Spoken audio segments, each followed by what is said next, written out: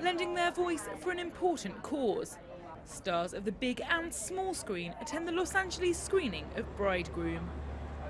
The documentary tells the story of Shane Bitney Crone's relationship with Tom Bridegroom and what happens after Tom dies and the couple don't have the legal protections of marriage. The movie tells a tragic and harrowing tale about an issue that is still so important to so many people. You know, I think that for a lot of people, it's just, I mean, essentially it's just like a love story.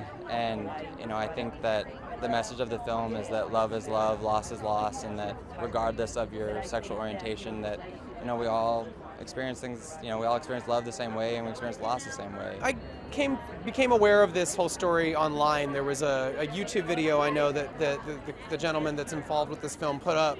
And I met him and saw a piece uh, at the GLAAD Awards in San Francisco earlier this year. And we started talking backstage for a while. And I, and I, I said, I wish there was some way I could be a part of it.